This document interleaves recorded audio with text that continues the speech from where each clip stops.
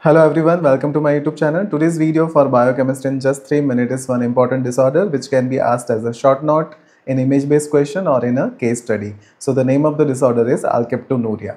Alkaptonuria is considered as a first inborn error of metabolism to be identified and it is included in Garrod's tetrad. Apart, apart from alkaptonuria in Garrod's tetrad, other three disorders are albinism, pentosuria and cystinuria. Now enzyme defect and clinical features of alkaptonuria. So alkaptonuria is an inborn error of metabolism which occurs due to the deficiency of homogentisate oxidase enzyme.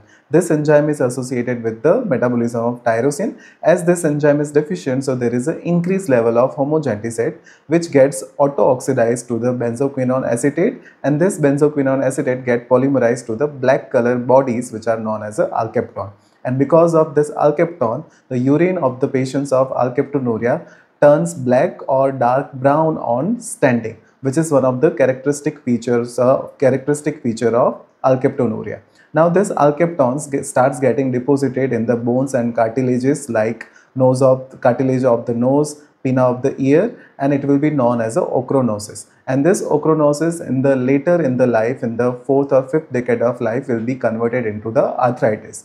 Remember one thing alkaptonuria in alkaptonuria there is no mental retardation.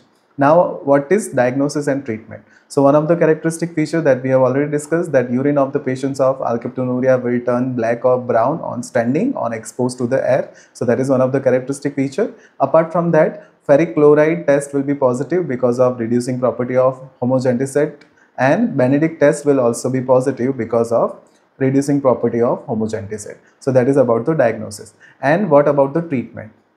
So treatment of uh, alkaptonuria is ask the patient to have a low amount of phenylalanine in the diet and one particular drug which is known as a nitisinone fine it will inhibit the para-hydroxy pyruvate hydroxylase enzyme which will result in a decreased accumulation of homogentisate.